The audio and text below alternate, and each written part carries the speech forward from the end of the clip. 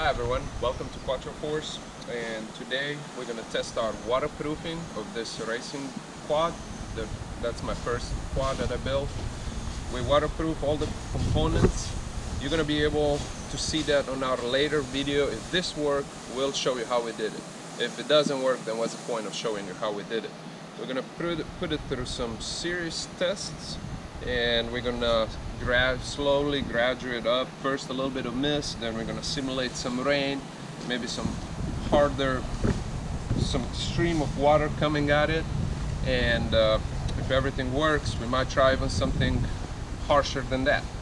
I'm uh, excited. I don't know what we're gonna find out but let's find out. All right. Now we soaked it let's see what it does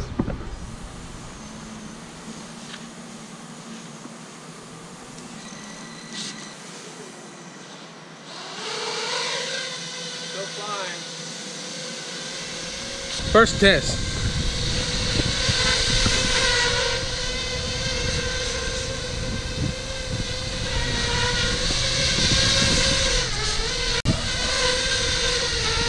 All right, that was good. Now we're gonna go for step two. We will uh, use the hose. Let's see how that works. Part two.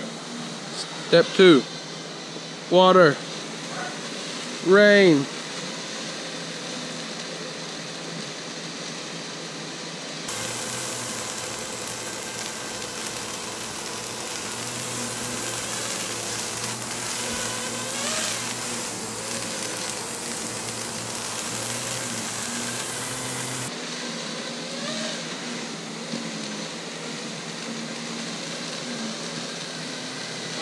Call that success. Yeah.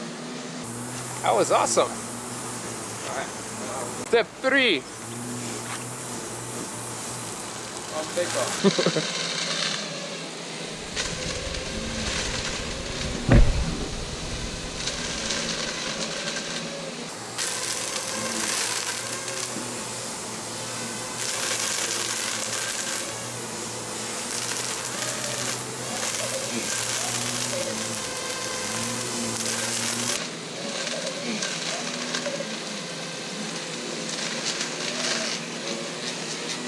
Tricking me, you're tricking me.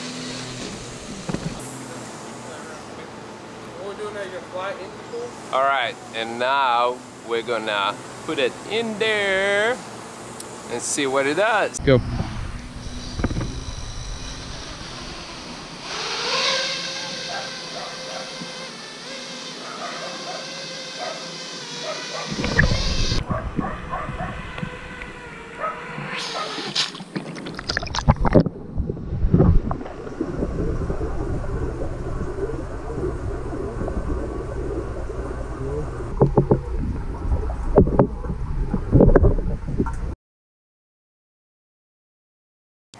Alright, uh, we're gonna do another test. Uh, we're gonna see how deep can we go with the quad in the water and we can still receive the radio frequency.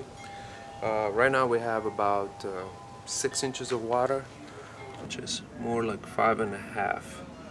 So we'll try with that and we'll see what happens. Alright, this is the quad that we'll be testing. The same one, my, my first racing quad everything is exposed so we can see if there is some water damage or if something starts smoking. We'll be testing the video signal, the video itself, and how far can we go under the water with these antennas and still be responsive. There we go. I'm going to make sure that it works, so we're going to plug it in. There we go.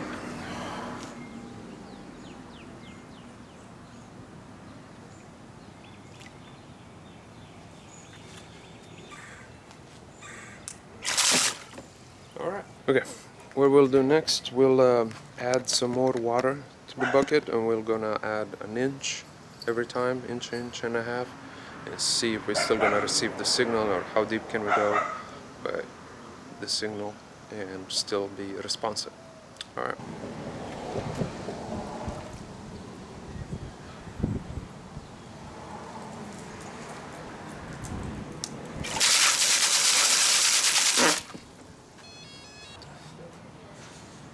anymore. Can cross our fingers. Yep.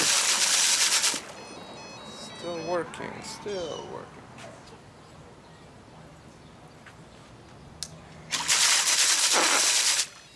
Perfect. Alright, that's it. Still working.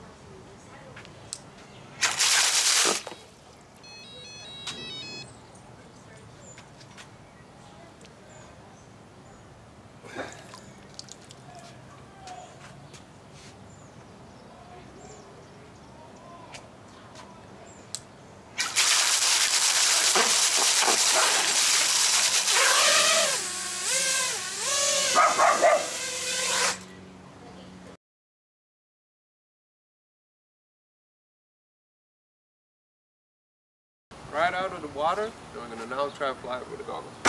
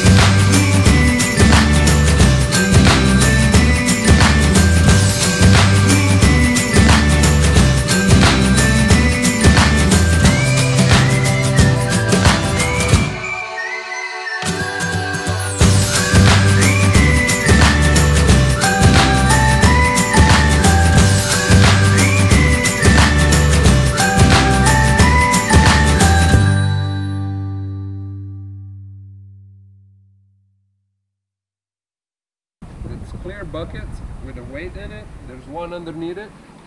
And the way it works, it gives us a small platform that we can land on. Why we did that?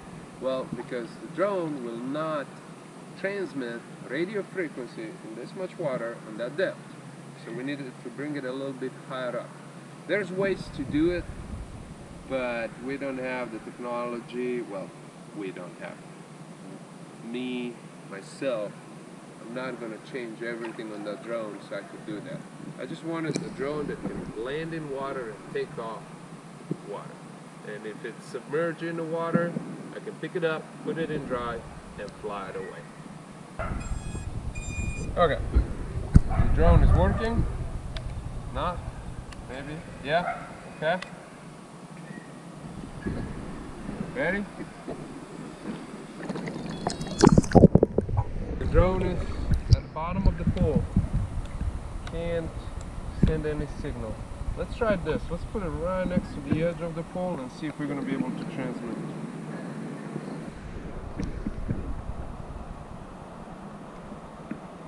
Okay, the drone is right next to the edge of the pool.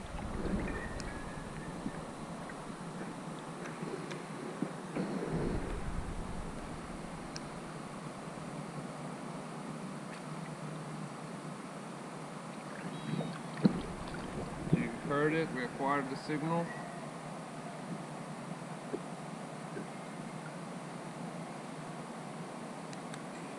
And it's working.